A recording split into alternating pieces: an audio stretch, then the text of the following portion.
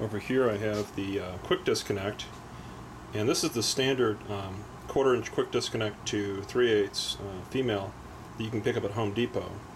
Um, then Automation Direct sells a 3 8 to male to push to connect female, which is great. So there's less parts between um, here and here for mounting this in the uh, enclosure.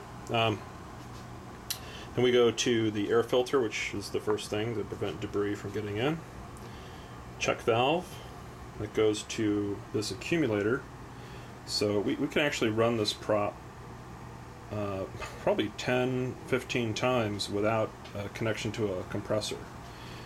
And then um, here is the flow control going into the valve. This is a 3-2 valve. The exhaust goes to a flow control and a muffler. This here is the cylinder, and it's a it's a double acting uh, cylinder.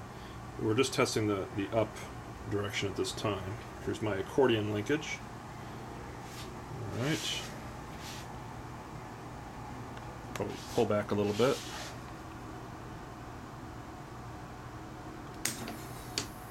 That goes up pretty high. More than enough room for the head of the jack jack in the box to clear the top of the box. Do that one more time.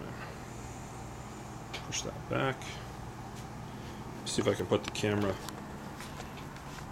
further away here.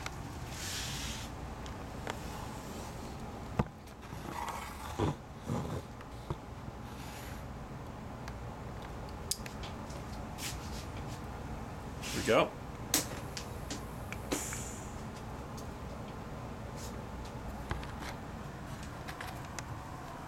Works pretty well.